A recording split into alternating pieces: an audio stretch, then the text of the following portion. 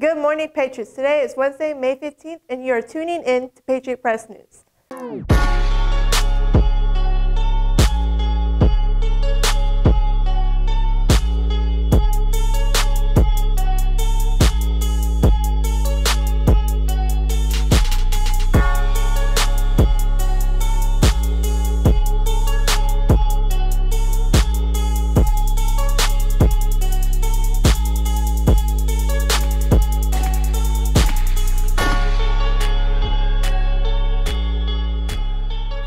I'm Victoria Shreve, and here's this morning's announcements. Prestige program is assisting students who are looking to get summer jobs. Thursdays, we are hosting workshops to learn about how to put together a resume, professionalism, and interview skills.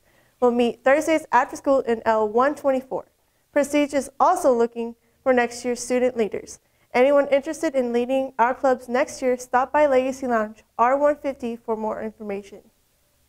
Girls volleyball tryouts are happening starting this Saturday from 8 a.m. to noon, and May 22nd and 23rd from 3.30 to 5.45.